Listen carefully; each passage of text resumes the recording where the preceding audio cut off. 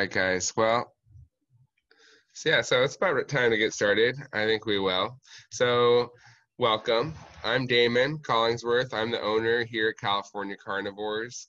Uh, California Carnivores is the largest, most famous carnivorous plant nursery in the world, probably. I'd like to be proven wrong. well, maybe not. Uh, so we house a huge collection of carnivorous plants here. Um, we have been open to the public for the last 30 years, but now because of coronavirus for the first time ever, we're actually not open to the public. Um, we are still shipping mail orders, so if you guys want to order carnivorous plants when you're done with this and uh, try something new, since I know you're all stuck at home, lots of time to go play in the play outside, uh, you can uh, order carnivorous plants in pots uh, at CaliforniaCarnivores.com and we're still shipping as fast as we can. We're a little um, behind. And then also, if you guys are interested in learning more about carnivorous plants when this is done, this is our book, The Savage Garden. It's the award winning, best selling book on carnivorous plants and how to grow them. My business partner, partner um, Peter D'Amato, wrote this, and I did all the pictures. Um, but people really super like it, and so if you want to learn more when we're all done about this, you can, uh, you can order that on you know you can order autograph copies here or also on Amazon. Um, we sell carnivorous plants. Well, conservation is really important to us, so we keep the carnivorous plant collection here because lots of them are being wiped out in the wild. Uh, and then we also sell carnivorous plants because poaching, that is stealing carnivorous plants from the wild, that is another reason they're going extinct. And so we also sell them to people. And that makes it, um, you know, most people aren't going to go fly, fly to, um, you know, Borneo to go steal a plant if they could buy it from us for not that much money. So that's uh, that's one of the ways we try to help. Um, in doing what we do. And I've done this for 30 years. I started growing carnivorous plants when I was 11 years old. A sticky Cape Sundew, we're going to learn about those today, um, was my very first plant. Um, and I still have that plant actually. So you can have your plants uh, basically forever. Plants don't necessarily age the way animals or people do. So I've had plants um, uh, basically my same carnivorous plants since I was like 11, 12 years old. I'm 42 now, which means that lots of my stuff is now 30 years old. Oh my God. Um, so that's me. That's the place a little bit. Let's talk about carnivorous plants. Okay, so I usually start with like, what is a carnivorous plant, right? So like, what makes a plant carnivorous? What makes it different from a normal plant? So normal plants get all of their uh, all their food, their fertilizer and um, which is plant food, they get that from the soil. Uh, carnivorous plants grow in areas where there is no um, there is no nutrition in the soil for them. So there's no fertilizer for them in the soil. So they had to trap uh, prey in order to catch their fertilizer, and that's why they evolved to do that. So all carnivorous plants photosynthesize from the sun, that is, make sugar from the sun, and that's how they get their sugars. So they're not trying to catch like we eat for sugar and protein and fats, and carnivorous plants don't eat for that. They eat just for their fertilizer, and they get their sugars from the sun, just like normal plants do. And then um, all carnivorous plants have uh, flowers too. You're gonna see some of them today. Um, there's a little Venus flytrap flower there. But um, so all the different types of traps that we're going to see, as beautiful as they are, are all modified leaves. There are no trapping flowers. Flowers are used to make baby plants, and so that's what they use those for. But all carnivorous plants have flowers and seeds, just like normal plants do. So in order to be carnivorous, you have to do four things. The first thing you have to do is lure the bugs in somehow. So most of them use uh, a sweet nectar. So nectar is like sugar that plants make, um, and they have it all over their leaves or traps, and that's usually what draws in the insects, because like ants and yellow jackets and moths And uh, all kinds of bugs, flies, as we know, all kinds of bugs like to eat sticky sweet sugar. And so lots of them use those to lure them to the traps themselves. Also, bright colors. So if you see all the plants behind me and some of these plants here, you can see really quickly there's a lot of bright colors. They're like usually dark red or white or yellow, bright, bright colors that'll stand out from all the normal plants and make the bugs come to them. So once they get lured in somehow, the second thing they have to do is kind of obvious, but we have to say it. The second thing they have to do is trap. So there's a Venus flytrap right here and those snap shut, but there are also sticky plants, um, sticky flypaper plants where things get stuck on the leaves and they can't get off. So sundews and butterworts. There's also rainbow plants and dewy pines. Those are all sticky plants where they get stuck on the leaves and can't get away. And then there are a lot of what we call pitcher plants, like pitcher of water. So those are plants like this purple pitcher plant here that have leaves that hold uh, liquid and like pitfall traps where things fall inside and they can't get out and they get digested inside there. So um, there's a whole bunch of different kinds of pitcher plants. There are American pitcher plants like this one here. There are tropical pitcher plants behind me. There's even Australian pitcher plants. In California, we have a really weird one that we're going to learn about. And there's even uh, sun pitchers in South America. So there's lots of different kinds of pitcher plants. There's even another trapping mechanism that we're going to learn about that's even faster and weirder than that. But we're going to learn about that a little bit later. So once they're trapped, the third thing they have to do to count as carnivorous is they actually have to digest. So they use acids and enzymes, just like it's inside our stomach, to break down what they've caught into the fertilizer that they need. So we usually think as animals as only doing digesting, but all of these plants actually digest very similar way to the same way that um, we do. And then once they've caught, once they've caught something. Once they've digested it, the last thing that they have to do is suck up that fertilizer directly into the leaf. So if you look at home, sometimes you'll see potato, uh, like uh, tomato plants or petunias, tobacco plants even, are covered in little sticky hairs, just like a sundew is. But we don't count those as carnivorous, even though bugs sometimes get stuck in there, because they're not digesting and there is no sucking up the fertilizer. Those are just little defensive hairs to protect the leaves and flowers of normal plants, but we don't count that as carnivorous. So that's uh, what makes a plant carnivorous. And there are actually 800 different species of carnivorous plants. You probably know about the Venus flytrap, that's one species of carnivorous plant, but there are actually 800 different species in the wild, and we're going to learn about a few of those today. Um, also, where do carnivorous plants come from? So lots of people always guess like Borneo or South America. Some smart Alex guess like Venus. But carnivorous plants, the greatest diversity, the most different kinds of carnivorous plants actually come from the United States.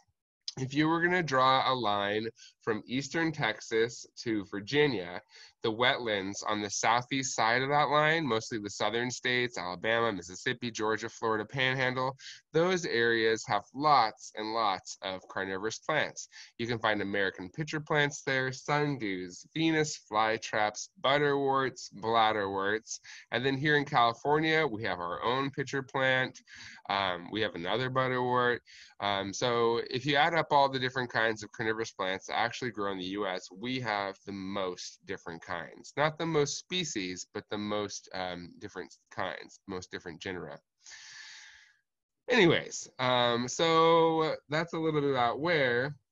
Um, well, one of the things that's kind of a bummer is even though we had the most different kinds of carnivorous plants, we estimate that only 5% of the carnivorous plants that we started off with when European people got here are still left. Unfortunately, they grow in wetlands. So they grow in swamps and bogs and fens and places with really wet dirt and uh, mosquitoes and alligators. And European people, when we first got here, we definitely did not value that land. And so right away, we started building dams and ditches and and roads. And every time we built a ditch or drained a bog to get rid of mosquitoes and alligators and all those other things that we didn't like, we also got rid of all the carnivorous plants. Even the Venus flytraps are almost extinct in North Carolina and South Carolina where they grow. There's only about 30,000 Venus flytraps left in the wild, which there was millions before. Just 50 years ago, millions of Venus flytraps, and now they're almost all gone. That's why it's really important that we do what we do here. We spend so much time trying to educate people about carnivorous plants and how cool they are. And if you'd like to um, donate to, to a good place, there's the Sarracenia, or the North American uh, Sarracenia Conservancy is a good um, group to donate to. And also just the Nature Conservancy is a really great um, group to, uh, to donate to. They buy up um, big chunks of land with special plants on it and protect them. Um, but yeah, we do our part here to try and protect them because they're almost all gone in the wild and they're still being destroyed almost every single day still. So that's the bummer part. But it is important to protect what little wildlands that we have left because there are magical things like this left over. And they've been there for a really long time we used to think about carnivorous plants as like the new hottest like most exciting iphone 12 of evolution in plants. They're eating so they and animals are like the coolest thing. So they must be like trying to be like animals which means like the most recent kind of evolution. But that's actually not true. We now know that carnivory in plants evolved um, like 70 million years ago which is a really long time ago um, that was when dinosaurs still ruled the earth. So there were carnivorous plants when there were dinosaurs, believe it or not. And they're actually mostly leftover plants that have been here for a really, really long time. Like Venus flytraps are native to North and South Carolina, and they've been there for millions of years. Even as the plates have shifted around, they've been there. Anyways, I think that's about everything there is to know about general stuff about carnivorous plants for right now. And again, if you guys have any questions, you can always type them in and we'll try to get them answered. But now I'm going to move on to talking about uh, individual types of plants. And the first one I always start with, because it's so familiar to everybody, is the Venus flytrap. And I have a big giant bowl of Venus flytraps right here. Have you ever seen so many Venus flytraps in your entire life? So these are all modified leaves for catching bugs. Like I pointed out before, they do have flowers, although most people don't see them. Kind of white, boring flowers. And if you're growing a Venus flytrap at home, you usually recommend cutting the flowers off because um, you're probably not going to get seeds. And if you do get seeds, it takes seven years to grow a Venus flytrap from seed to what I sell for $10. We do it a little faster here, but growing Venus flytrap from seeds is really hard and it takes a lot of energy out of the plant. So we usually say cut the flower off so you get more traps. But I am making seeds here, so we've left all these flowers on, and that's what those all are. There's only one species of Venus flytrap, and as I said a couple of times already, those don't come from Venus. They don't come from the Amazon. They come from North and South Carolina. Mostly a 100 mile radius around Wilmington is where the most of them are or were, I should say, as I just pointed out, since almost all of them are gone already. Um, it's a funny thing because there's so many in hardware stores and we see them everywhere and we think, oh, surely these must be safe somewhere, but in the wild, they're actually not that safe. Um, if you go to our webpage, you'll see all kinds of different kinds of Venus flytraps. Even though there's only one species, there's also only one species of dog, but we've made all the different kinds of dogs. And the same thing um, if you go to our webpage, we have red ones and giant ones and ones with teeth instead of these eyelashes. And there's actually, we have um, like almost 150 different kinds of Venus flytraps just here. Uh, anyways, let's see. Trying to get it all set up so you can see one close. That one looks like it's pretty easy to see. So in order to make a Venus flytrap close, and they can only close about two or three times, you need to touch the trigger hairs. You might actually be able to see one in there. Um, maybe Google search a picture of a Venus flytrap, and if you look in there, you can see on either side of the leaf, on each lobe of the leaf, there are three little trigger hairs and those are hidden inside. These are not the trigger hairs. They don't have anything to do with the closing of the trap, but the trigger hairs are inside. The these hairs um, the nectar that lures in the bugs is right on the inside of the lip there. And so those hairs keep the if you're a little fly face and you're trying to get to the nectar from the outside, you can't really get through there, and you have to come up through the middle where they want the bug to be. Then it touches those trigger hairs a couple times, and the trap will snap shut. We're gonna do one right now. You want to pay close attention. Sit up close. It's gonna be fast. You don't want to miss it. And I'm just gonna use these tweezers to touch a couple trigger hairs. Let's see. Make sure I hit the right one. I think got that one. There we go. And it will close. One, two. Maybe one more time. There we go. That one was a little wonky. Usually they go a little faster than that. Let's see. Turn it. And we'll do this one right here. I think this one. That one. That one. There we go. This one right here. Right there. One, two. Ho! That was a good one. So those little eyelashes, they also help catch the bug. And so if it's like that, then they just close that far and the bug is already caught. And then it makes little holes in between to let small bugs out because the next step is um, it's going to press the leaf together and put acid in there and melt the bug um, to get all the fertilizer out. And that takes about 10 days. But they do have these little tiny holes that let the small bugs out because they don't want to waste all the energy of digesting a tiny, tiny bug. And there's these little gaps in between there let small bugs out. But if it caught like a yellow jacket or something large, it's going to hang on to that and spend 10 days putting acid in there until it's all gone and just the um, exoskeleton, the uh, outside of the bug is left over. I don't know if you can see it. Maybe I can get to turn. But there's actually an old fly exoskeleton in that trap right there and it looks like the fly is still in there, but just the dried up outside is left, and all the soft parts that was the fly is all turned into fertilizer. And a lot of times, a spider or a yellow jacket will come to that dead, dried up bug, thinking that's something to eat, and it'll get um, it'll get caught too. All right, so that's Venus flytraps. If you guys have any questions about those, shout them on out. The next thing we're going to learn about are sticky sundews.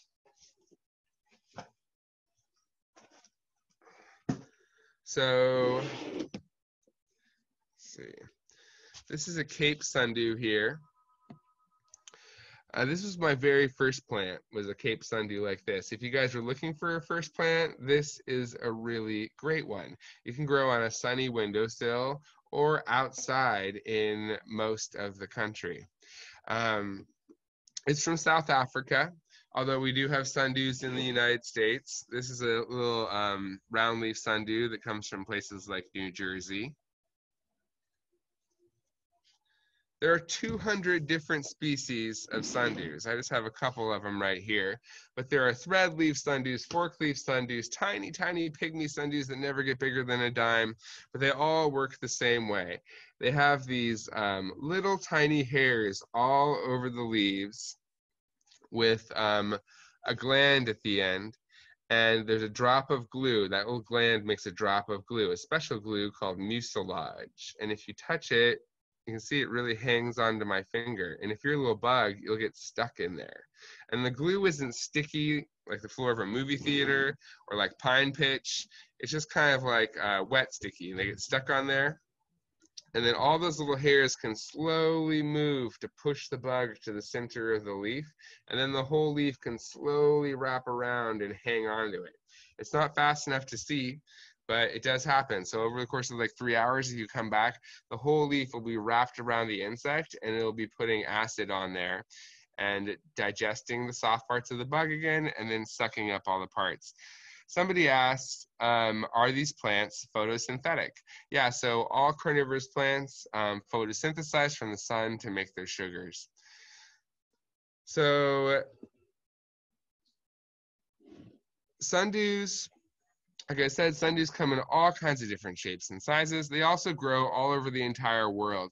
The most kinds of the most uh, the places with the most sundews are like Australia has a lot of sundews, South Africa has a lot of sundews, and actually Brazil has a lot of sundews.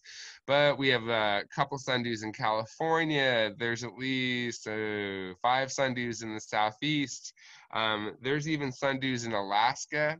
There are sundews in Europe and Asia and Africa. There's sundews on every continent except for Antarctica. Now, Charles Darwin was particularly fascinated with sundews. Most of you guys know, if you're old enough to know Charles Darwin, he was the guy who came up with natural selection as a mechanism for evolution and really popularized evolution with his book the origin of species. But what lots of people don't know is he was also the first carnivorous plant expert.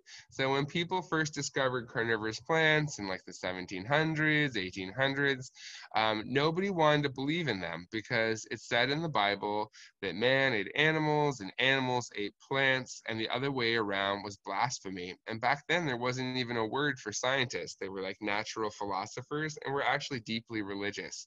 Carolus Linnaeus, who came up with the entire entire scientific naming system. So all animals, plants, and mushrooms, bacteria all have a scientific uh, name, which is a fancy Latin name. He's the guy that came up with that system that we still use today. But when he got a letter um, from a friend with a drawing of a Venus flytrap and saying that he thought it was carnivorous.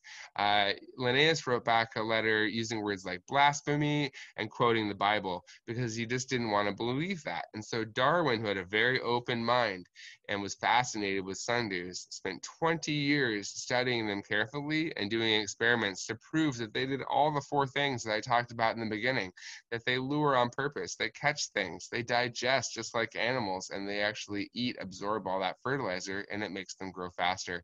So he wrote a book, Insectivorous Plants, that was the first book on carnivorous plants that came out in the late 1800s that finally proved that there were carnivorous plants. Um, so he's also like the godfather of carnivorous plants. And he wrote once wrote in a letter to a friend that he cared more for sundews than the origins of all the species on Earth, which we tell almost everybody because it's just so cool. Um, sundews have flowers too, there's a little uh, Cape Sundew pink flower that's going to open today. And then these guys actually make seeds, and you can grow Cape Sundew from seed in about a year. So they're pretty easy. Uh, one thing I should say about carnivorous plants is how to grow them. So American pitcher plants, Venus flytraps, and sticky sundews can actually grow outside in most parts of this country all year round. They're hardy down to 15 degrees Fahrenheit, and they can take the heat if you can keep them sitting in water. So most of them can take at least 100 degrees. Uh, if you get colder than 15 degrees Fahrenheit, you may need to bring some of them in and put them like a cold garage to keep them from freezing really, really hard but they actually um, are much tougher than people think. And then they all need rainwater or distilled water only if you want to grow a carnivorous plant for a long time. That's because they evolved where there are no minerals in their water and their soil. Bogs and swamps are really, really pure. There's nothing in there for plants. And so they um, they're really addicted to getting uh, very, very pure water. And so you have to keep them sitting we just have them, the whole pot sits in a couple inches of rainwater or distilled water, and that's how we uh, recreate a swamp. But they're actually pretty easy. You could totally do it. That's why I was able to do it when I was 11 and keep them my entire life. Is mostly I just grew them outside, sitting in the water. And if you're someplace where you have summer rain, it's even easier because the rain is going to water it for you most days. Here in California, we don't get any rain from about now all the way to Halloween, so it's a little bit trickier. You just have to save some rainwater, or maybe you know buy a little filter But that's uh that's how I take care of them just real quick. Any rate, there's sundews, 200 different species. That's how they work. You guys have any questions, go ahead and type them out. Another type of sticky plant that we're going to learn about is a sticky butterwort. So this is a butterwort here. I don't know if uh, this is so tiny. Yeah, you can see those little black spots on the leaves. Those are fungus gnats. Those are tiny little flies that get stuck on the leaves. They work just like a sundew, but they're um, it's a little bit more delicate. It's a little bit tinier. So instead of having those big hairs, they have tiny, tiny little hairs that you probably can't see. Their Latin their Latin name, uh, pinguicula, means little greasy one. And if you touch one, they are slimy and you might even be able to see the little strands coming up off my finger there. So insects land on there, tiny things like fruit flies land on there, and they get stuck like these other little black dots have, and then they get digested with acid right there on the leaf. And we have a few questions. How many different types of plants are at the nursery? Thousands of different types. We have um, a fairly complete collection of species, and then we cross the species together to make hybrids and new types of things all the time. So we have thousands and thousands of plants here, and we're making new ones all the time. How long have we been open? We've been open for 31 years now. We opened in 1989, which is about the same amount of time that I've been doing this actually. And have we ever done any museum exhibits? Yeah, actually we have. So here in San Francisco, we have this major, um, this Conservatory of Flowers. It's a giant Victorian greenhouse in Golden Gate Park, and we've done three major exhibits there. We've also helped to do um, exhibits at the like uh, Missouri Botanical Garden, the U.S. Botanical Garden, all botanical gardens and zoos get their carnivorous plants from us actually for their displays. Um, but you can get your plants from us too, which is pretty cool. The San Diego Zoo gets their carnivorous plants from the same place that we do. Anyways, back to butterworts. Here's another kind of butterwort with really beautiful pink flowers. They're um, they're from Mexico mostly. There's there are butterworts in the U.S. Um, and there are butterworts in Europe that look a little different than this, but the most different kinds of butterworts come from Mexico. Um, so their flowers are really beautiful and pink because they're hummingbird pollinated in the wild. So they catch bugs, but then they pollinate their flowers with hummingbirds. The hummingbirds see there the flower and they stick their little beak in there to get to this straw of nectar that hangs off the back there. That's called a spur. and It's all full of nectar. And that's how they make baby butterworts. Um, and they have the little sticky leaves. There's like uh, probably about a hundred different species of butterworts, I think now. Again, there's still new ones being discovered all the time. And they're not related to sundews at all. They've just evolved to do the same, a very similar thing, um, but they're from two completely different plant families. So um, they're not related at all, which is kind of cool. So butterworts are related to a really weird little plant called a bladderwort. I know that's a funny name. Who would ever think a bladderwort would be a plant and not a disease? But actually, it is. And they have beautiful little flowers like this. Um, and they trap things with heavily modified leaves underneath the soil that are microscopic, tiny, weird little suction leaves, which are so hard to see. We'll see if you can kind of kind of get an idea of the size of them by looking here, but you might maybe if the camera's good enough see these little white threads? Those aren't roots those are underground stems. And then there's these tiny tiny little white spheres hanging off of there. Those are little hollow bladders and they're actually modified leaves. And if we were to blow one up with a microscope to see what it looks like it would look like this. Whoop, like that. And they actually suck things up microscopic things up at one five thousandth of a second. It's one of the fastest things in nature, and it's the smallest suction mechanism known to man. We can't make anything even close um, to that small and that powerful. And it sucks things up and then digests them inside these tiny bladder traps. And they're really super complicated. But those are actually in the same family they're cousins to butterworts. There's 200 different species of bladderworts. They grow floating in water. They grow on tree branches, and they grow in all kinds of wet swamps all over um, the world. Again, there are bladderworts on every continent except for Antarctica. Somebody asked, can you use the plants in one in a kitchen to get rid of gnats some flies. Yeah, that Cape Sundew I showed you, these guys eat lots of flies and are perfect for a sunny windowsill. Super easy too. And we sell them on our webpage for like 10 bucks.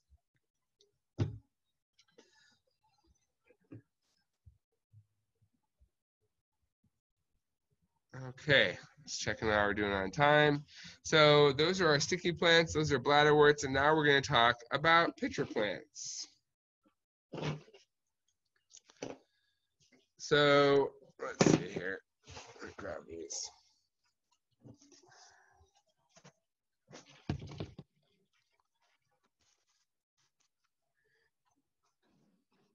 These are American pitcher plants, and they're really tall plants. These ones are about half as tall as they can be. They can be up to 43 inches tall, maybe even a little bit taller. Um, they all come from the United States, except for one species, which grows into uh, Canada. Um, and there are eight different species. Six of them are tall, like these ones, and two of them are short. We're going to see the short ones in a second here, but more typical ones are like this. They have this rain lid, like an umbrella, to keep the rainwater out of them. They're called pitcher plants because they have a little spout on them too, like a pitcher of water. And so if the rain lid fails and they do fill up with rain, like in a hurricane, they topple over and they can dump the water out and pop back up to catch bugs. Um, they have a sweet drugging nectar that the flies come to and eat, and then they get drunk and they fall inside and they can't get out. You notice they're really, really colorful to attract the bugs too, on top of having the sweet nectar. Again, they do have flowers to make baby pitcher plants, and that's a flower right there. The flowers come up first in the spring, and then the pitchers, the traps, come up next so that they don't eat the bugs that pollinate them. Somebody asked, do any animals eat these plants? Not too many. Most of them are a little bit poisonous to keep the bugs from eating their way out. So slugs and snails don't eat them. Deer don't usually eat them. Sometimes a caterpillar will um, gnaw on them sometimes, but that's about it.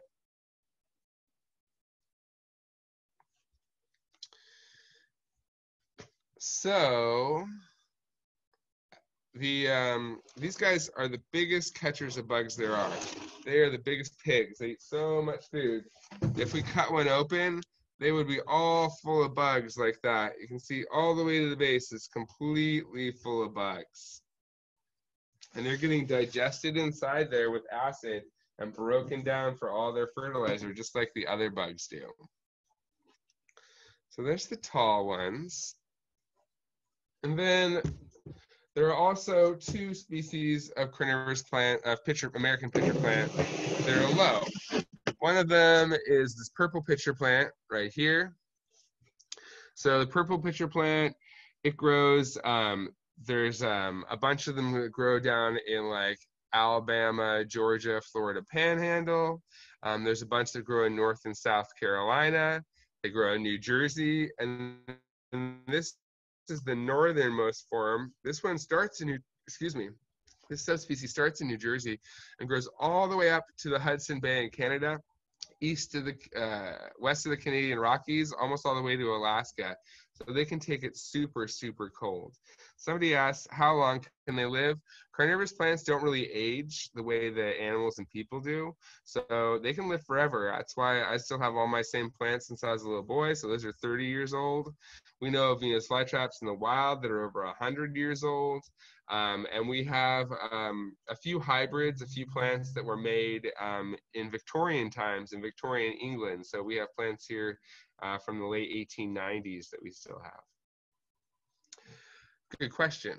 So these guys don't have a rain lid and they just fill up with rainwater and the bugs drown inside, but basically they work the same way. Um, and they never get taller than this and they just make big clumps like cabbage actually. That's a purple pitcher plant. And then there's also this really weird looking parrot pitcher plant.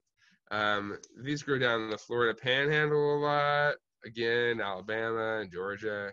Um, all over the southeast. And these ones actually float in the water a lot. And the mouth to these is right right here underneath the little swollen head.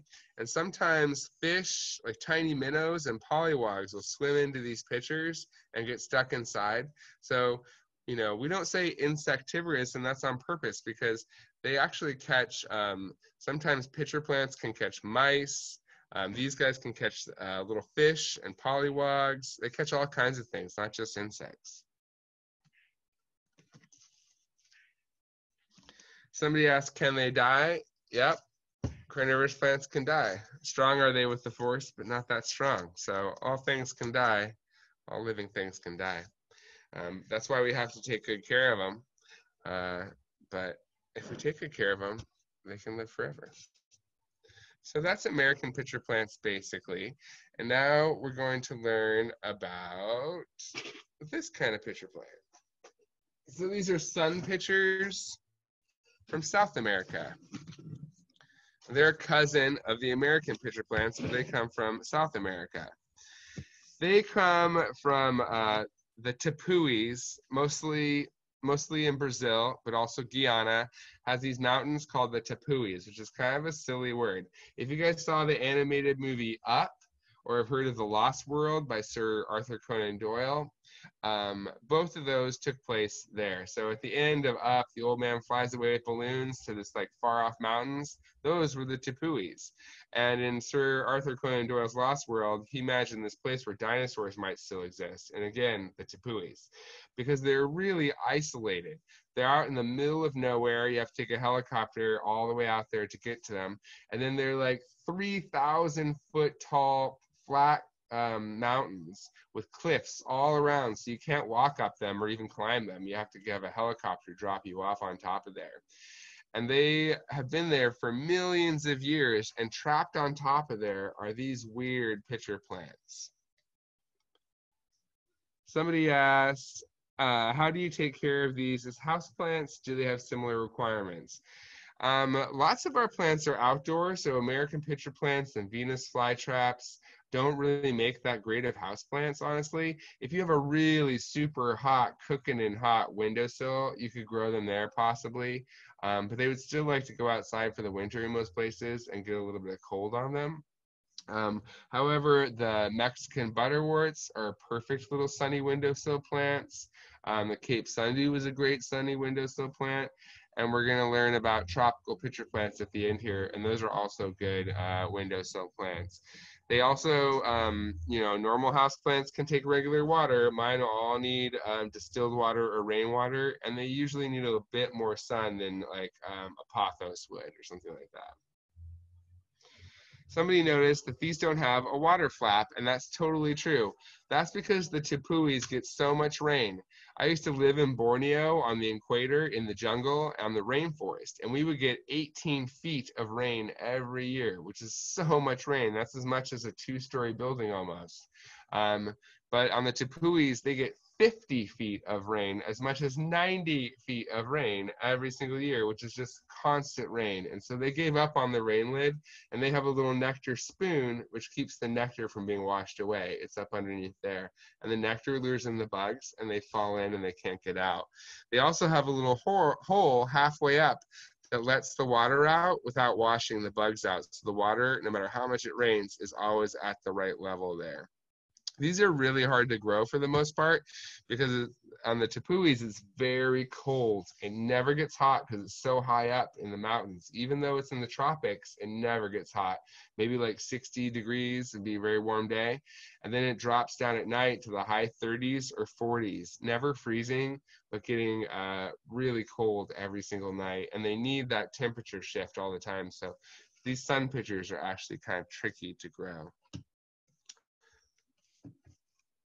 Okay, we're doing really good. Real quick, we're gonna learn about a California native, and this is called the cobra plant. It's another co cousin of the American pitcher plant. They're called cobra plants because they look like snakes. Again, bugs go inside and they can't get out. The opening is right behind this um, tongue appendage.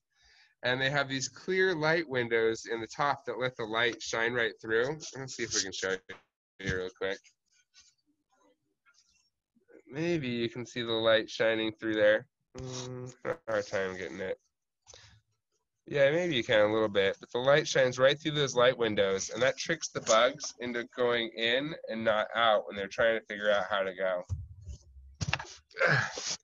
There's only one species of cobra plant, and they only grow in California, and they've also only been in California for millions of years. Um, but they basically work the same way as a pitcher plant, and they can get about twice as tall as this in the wild. These are all last year's pitchers, and these are the new ones coming up. But that's our cobra plant. Also kind of tricky to grow because where they grow in the wild, the snow melts, where it's melting the snow in the high in the mountains here in California, keeps their roots cool at all times, but they need a lot of sun. So we have to grow them with lots of sun without ever letting them heat up, which makes them a little bit tricky to grow. And the last type of plant that we're going to learn about are tropical pitcher plants, which are all behind me here. I'm going to try and move the camera so we can look at them. Again, so these are not related to these other pitcher plants at all. They're in a completely different uh, family.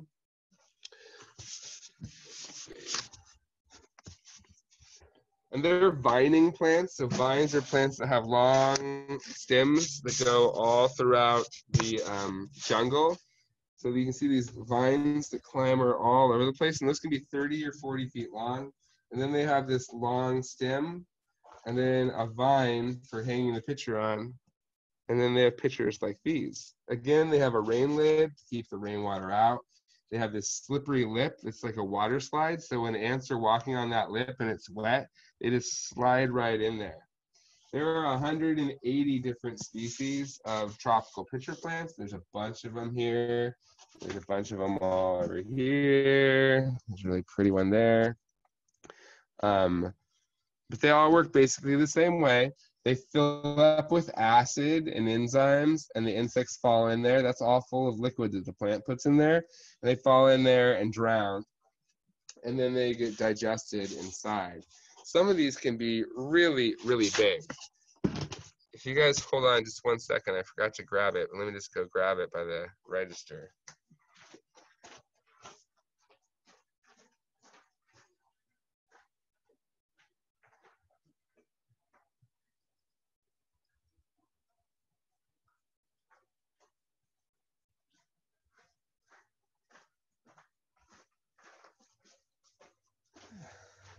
Thanks for waiting. Sorry about that. Yeah, so this is a really big old pitcher here. You can see how big this is. So this one actually caught a mouse this spring and digested it and even the bones.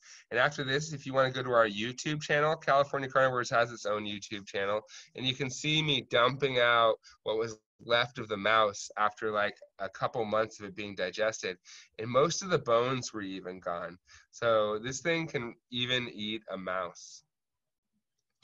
Um, they have upper and lower pitchers on the same plant so the plants down low on the vine will be um, very colorful and big and those are more for catching crawling bugs. But then when they get high on the vine, they'll look completely different, and those usually be more like more narrow, and those are for catching um, flying bugs. So this is an upper pitcher here, and on the same plant, they will often look completely different. So you think there are two different species, but they're not. And those mostly come from uh, Indonesia, Borneo, the Philippines, Southeast Asia, that's where the most of these come from. Although there are two in Australia, two in Madagascar, and one in India, and some more far-flung places. Some more questions. Out of the plants you're showing us, which are the most dangerous? Well, I don't know. They're all pretty safe for me. I've been doing this for 30 years, and I still have all my fingers. None of them are dangerous to people, but um, dangerous if you're a bug, maybe if you're a little mouse. And then how do you grow the plants where we're at? If you're interested in learning exactly what we do, that book, The Savage Garden, tells us exactly what tells exactly what we do. But mostly we just grow them outside, sitting in a tray of rainwater or distilled water all year round. They can freeze solid, they can take the heat as long as you keep them sitting in that water all the time.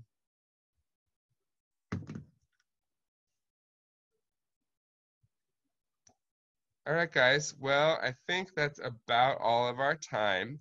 If you guys have any more questions about carnivorous plants, we probably have another couple minutes to type them in. Otherwise, I think that's about it.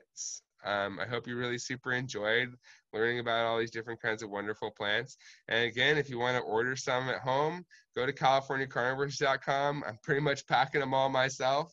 Um, and you can find us on Instagram and on Facebook. We make lots and lots of videos there. So you can go check out all of our different videos there. Um, I just put up one on our Instagram about what is a carnivorous plant. And so if there's all kinds of things on there that you've seen here, um, if you want to learn more. Somebody asked, are there any plants that eat big animals? Well, yeah, well, that pitcher plant can eat, um, well, nothing that eats like an elephant or a cow or anything, unless you want to do a lot of chopping. But uh, they can eat things as big as a rat or a bird, um, small mammals and birds like that, reptiles, frogs. All right, guys. Well, thanks so much. And um, I hope you have a great day. Stay self- safe and healthy out there. Bye.